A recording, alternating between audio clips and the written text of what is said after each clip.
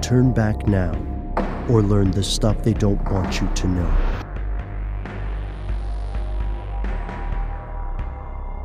Here are the facts.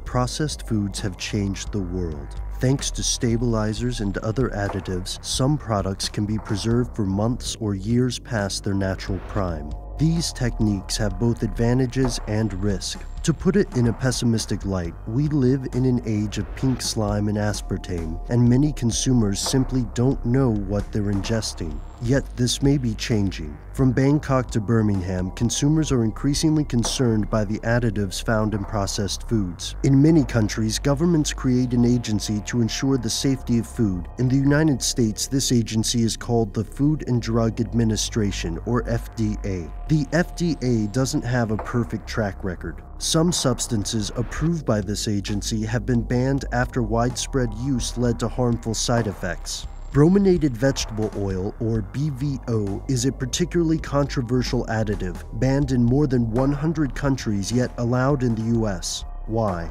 First, let's examine what BVO actually is bromine and vegetable oil. It's an emulsifier in citrus flavored soft drinks, which means that it keeps the fruit flavor mixed with the sugary drink. This substance was originally patented as a flame retardant. The FDA believes BVO is safe at 15 parts per million, but according to BVO's opponents, that's not the whole story. Here's where it gets crazy. Brominated vegetable oil wasn't always legal. It was effectively banned for a short time when the FDA removed this product from its generally recognized as safe list in 1970. The Flavor Extract Manufacturers Association fought to get the substance reapproved, this time as a stabilizer rather than a flavoring agent. Citing studies that showed BVO to be safe within certain limits, the industry argued that BVO was harmless if these precautions were followed, and they argued successfully. In 1977, the FDA gave BVO an interim approval status. This interim approval has lasted for decades, and the FDA does not consider the status of BVO to be a public health priority. Not all scientists agree. In a 2011 article from Scientific American, toxicologist Charles Vorhees notes that the compounds like BVO should be re examined periodically. One of the most compelling concerns is that bromine may accrete in a person's body over time. If that's the case, if BVO is potentially dangerous, then how did it find its way back into the good graces of the FDA?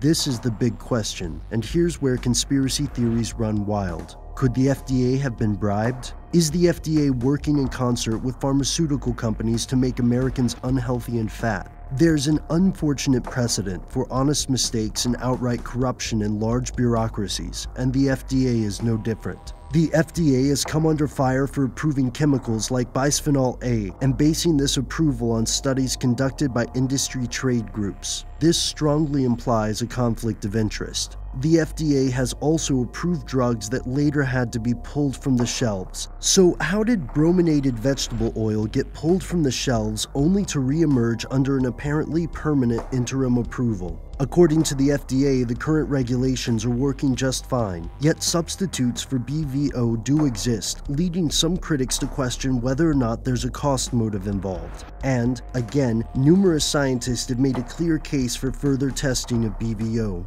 The FDA claims it hasn't called for more testing as brominated vegetable oil is not a public health risk. According to conspiracy theorists, however, there's something they don't want you to know. Coca Cola and PepsiCo said Monday they're working to remove a controversial ingredient from all their drinks, including Mountain Dew, Fanta, and Powerade. The ingredient, called brominated vegetable oil, had been the target of petitions on Change.org by a Mississippi teenager who wanted it out of PepsiCo's Gatorade and Coca Cola's Powerade.